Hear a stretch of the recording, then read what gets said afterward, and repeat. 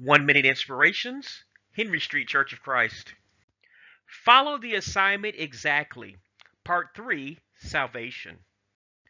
Not everyone that saith unto me, Lord, Lord, shall enter into the kingdom of heaven, but he that doeth the will of my Father which is in heaven. Matthew chapter 7, verse 21, King James Version.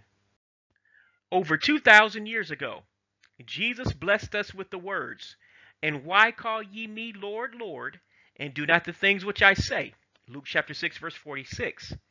Many over the centuries, including now, call Jesus Lord, but they really want to determine how to behave themselves. Effectively, this takes Jesus off the throne of our hearts and replaces him with ourselves. We cannot be his subjects and he our Lord if we are ignoring what he says for us to do because of our opinions, traditional teachings, or because we do not agree with something He requires us to do.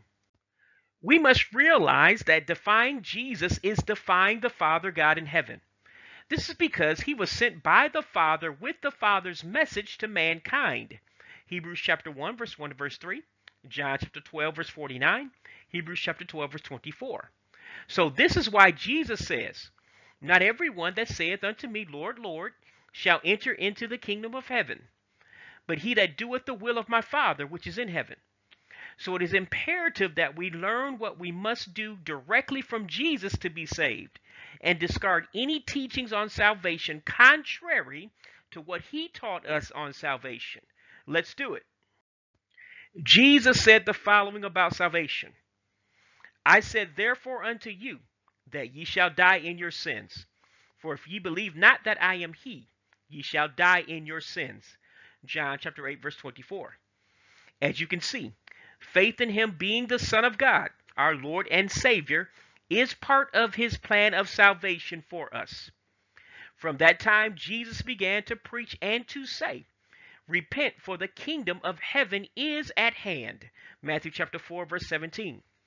This means we must turn from our sinful ways to a life of righteousness to be saved.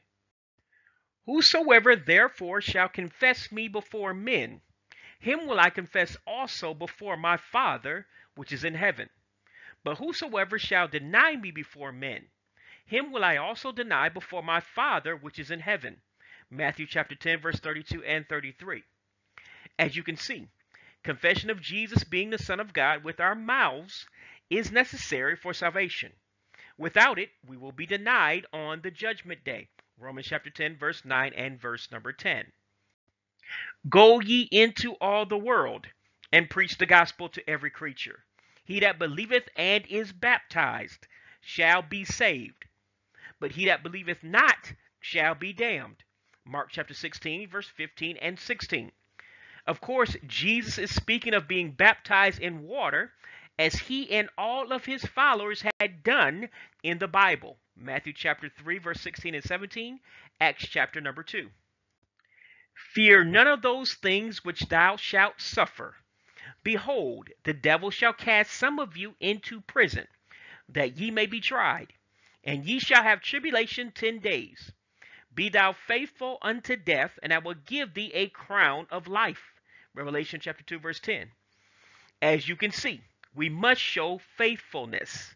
This means loyalty to Jesus all of our days. This is done by staying committed to what Jesus commanded in living the Christian lifestyle of obedience and continuing to believe in Him as the Son of God. In conclusion, we see in this series of messages, starting with part one, that obedience is necessary for salvation. Even Moses had to miss the promised land of Canaan because of his missing one detail by striking the rock and not speaking to it as instructed by God. Do you have to miss our greater blessing of heaven because someone has taught an altered plan of salvation that cannot save? Absolutely not. Contact your local Church of Christ congregation and tell them you have believed in the true gospel from the true source Jesus himself, and they will take your confession and baptize you for the salvation of your soul. Follow the truth and not fables of men. This series is concluded. God bless you. Thanks for listening. This is a ministry of the Henry Street Church of Christ, 309 Henry Street, Gadsden, Alabama, USA 35901. www.henrystreetchurchofchrist.com. Please subscribe to our channel. God bless you.